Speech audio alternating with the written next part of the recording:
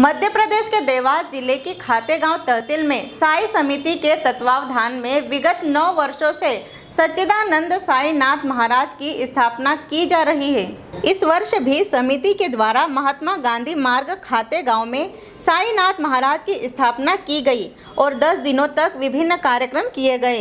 ग्यारहवें दिन साईनाथ महाराज का विशाल चल समारोह नगर के मुख्य मार्गों से निकाला गया। चल समारोह में महाराज की आकर्षक झांकी बनाई गई।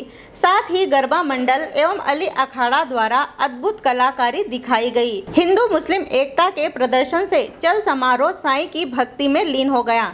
चल समारोह में नगर के गणमान्य नागरिक और पार्षद गण उपस्थित रहे। खाते गाँव से सादिक खान की रिपोर्ट।